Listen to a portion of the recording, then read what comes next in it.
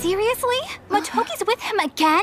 What makes him so special? He's just the new guy. You heard that? Oh, I'm so embarrassed. Well, I know Motoki. He and I go to college together.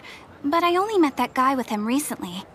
There was an Endo that he used to hang out with a lot, but that was a different person. A skinny guy who wore glasses. I haven't really seen him lately. That guy supposedly goes to our college too, but I've never seen him there, and my friends haven't either.